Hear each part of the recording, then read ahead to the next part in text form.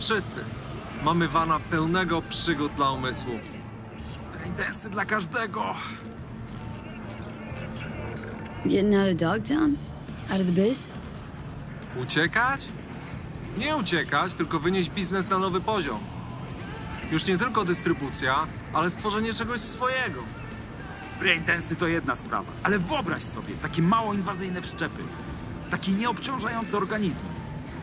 Nice dream. Lofty, but nice.